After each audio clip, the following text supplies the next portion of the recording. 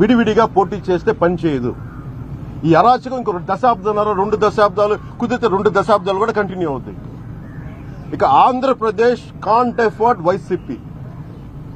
వీరి తాలూకు దుష్ట పాలనని అరాచక పాలనని ఆంధ్రప్రదేశ్ ప్రజలు తీసుకోలేరు. నాలాంటి వాడిని రోడ్డు మీదకి రావాలంటే నువ్వు పోలీసులు రెండు వేల మంది పోలీసులను పెట్టి తెలంగాణ బోర్డర్లు ఆపే ధైర్యం దమ్ము నీకు ఉన్నాయంటే సగటు మనిషిని బతకనించ బతకనిస్తాడా వీడు? ఈ ప్రభుత్వం. అందుకని దీన్ని సమిష్టిగా ఎదుర్కోవాల్సిన సమయం ఆసన్నమైంది. ఈ రోజున జనసేన కార్యవర్గానికి పార్టీ సభ్యులందరికీ కూడా మీరందరూ పరిస్థితులు చూడండి. నన్ను కూడా రానివ్వట్ల.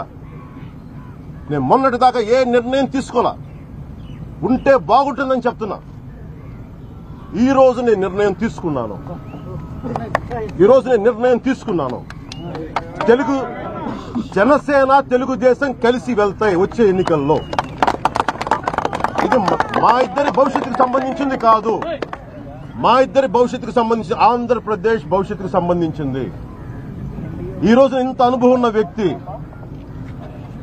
బిల్ క్లింటన్ తీసుకొచ్చే బిల్ క్లింటన్ లాంటి వ్యక్తితో బిల్ గేట్స్ లాంటి వ్యక్తులతో ఇలాంటి అందరితో కలిసి ఒక సైబరాబాద్ ఒక సిటీకి రూపకల్పన చేసిన వ్యక్తి ఈ రోజు రాజమండ్రి సెంట్రల్ జైల్లో ఉండాలి. నిజంగా చాలా బాధపడాలి మనం.